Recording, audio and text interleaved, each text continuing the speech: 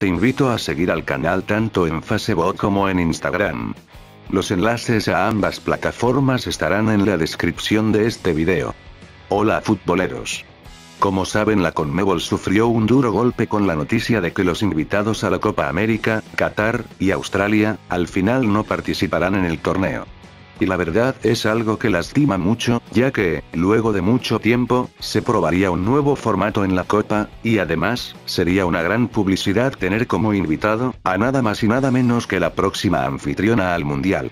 En fin, esta noticia trajo consigo muchos rumores acerca de que México y Estados Unidos serían los invitados y demás. Pero según se dijo, la Copa no traerá a ningún otro invitado, por lo cual, se llegó a plantear un posible cambio de formato. Por ello en este video, daré a conocer tres formatos, que desde mi punto de vista, podrían ser los esenciales para este gran cambio, en cuanto al número de representantes. Primer formato. Esta primera opción, es bastante similar al formato que se tiene previsto utilizar en este torneo. Los 10 países, se dividen en dos zonas. La zona sur, que corresponde a la Argentina, y la norte, que corresponde a Colombia se jugaría a todos contra todos, y en vez de que una selección quede libre en cada fecha, se podría jugar un intersonal.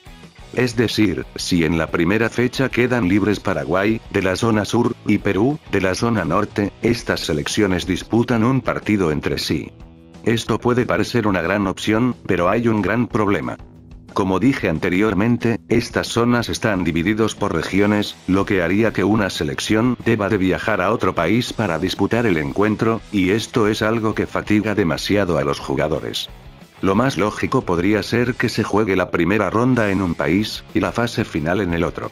Porque claro, una vez que se disputen todos los partidos de cada grupo, los cuatro primeros de cada zona, avanzarían a los cuartos de final, para seguir con las semis, y la final. Como dije, esta opción es bastante convincente, pero a la vez muy imposible. Por ello dejo a cargo de ustedes para que me digan en los comentarios, qué opción les parece la adecuada. Segundo formato.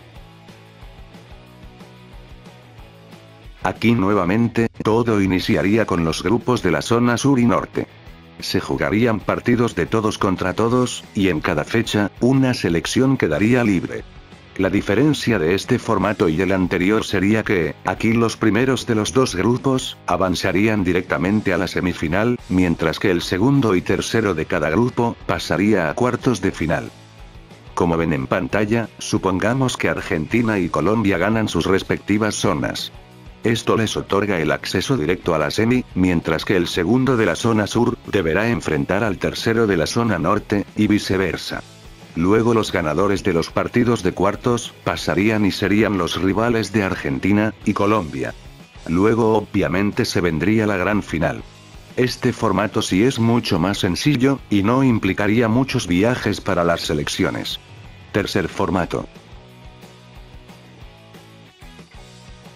Aquí nuevamente, la primera ronda sería con los grupos de zona sur y norte, todos contra todos, donde otra vez una selección quedaría libre por fecha.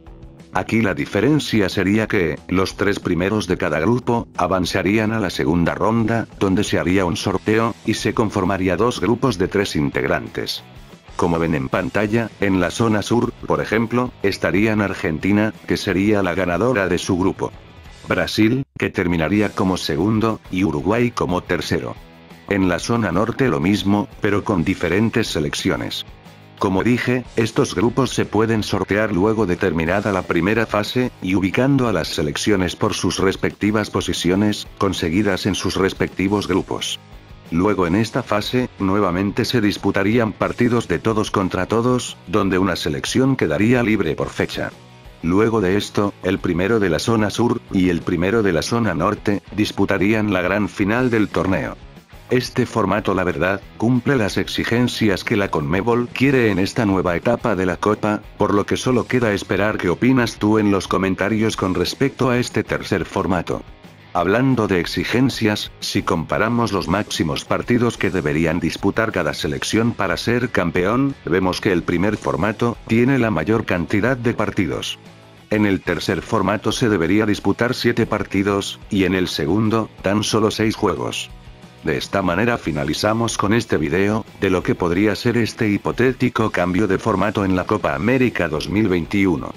Como siempre te digo, no olvides de suscribirte al canal, y dejar tu me gusta, hasta la próxima.